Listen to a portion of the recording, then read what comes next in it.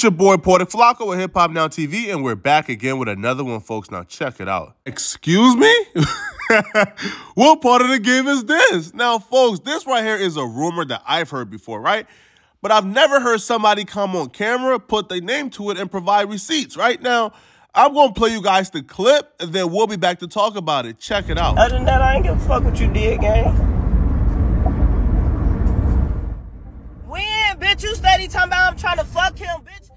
Let's not mention you used to fuck with your brother before you knew that was your brother.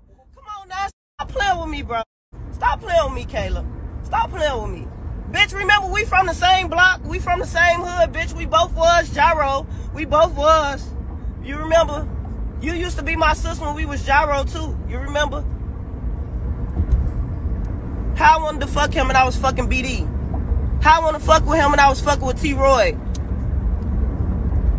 How? And stop merching that. That shit don't even sound right. You talking about on Von. That shit don't even sound right.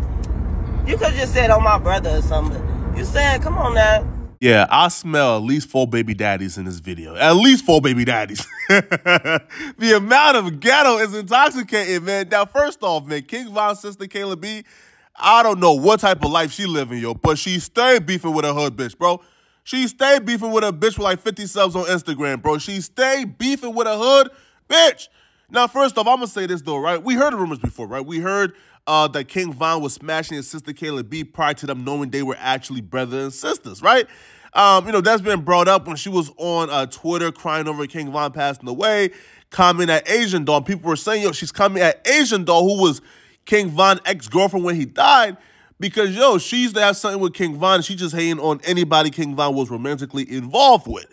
All right, now, this woman right here, her credibility to me is kind of strong, right? Because, again, I don't think that anybody who is commenting online and saying, listen, I was fucking this person, that person, that person, that person, I don't think they really have any shame, nor do I think they'll really lie about something like that, right? Because they already exposed themselves. And Kayla B has constantly denied this, right? What she stated was they used to talk before she knew that um her and King Von was actually brothers and sisters, right?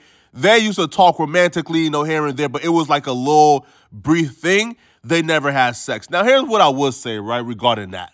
I don't think it's an indictment on any one of them if they did smash before they knew that they were related. I don't think so. Listen, to be real, Kayla B is a fine looking bitch, bro. If King Von was out here giving her back shots, if King Von was out here giving her some gangster throats, giving her the hip thrust, I don't think we can really hold that against him if he didn't know it was his sister. But I will say this though, man. I don't even think I'll be able to look my sister in the eyes, right? If I was out here smashing my sister before find out she she was my sister, bro. I don't even think I'll be able to even like stomach that, right?